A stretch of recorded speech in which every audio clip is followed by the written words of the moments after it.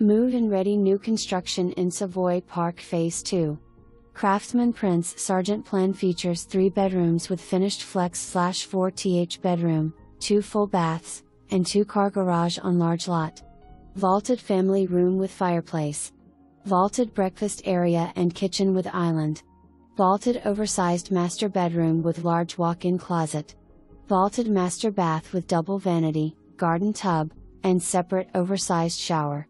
Quality built new home by Castle Home Builder. 10 year home warranty. Convenient to schools, shopping, and dining. Features two fireplaces and game day porch. USDA territory. Stock photos.